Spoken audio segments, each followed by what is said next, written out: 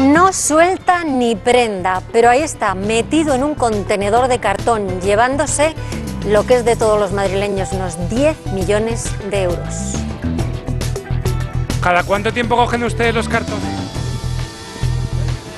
No sé si sabe que es ilegal esto, que lo tiene que recoger el ayuntamiento. ¿Me puede contar por lo menos cuánto le pagan por kilo cada vez que vende cartón?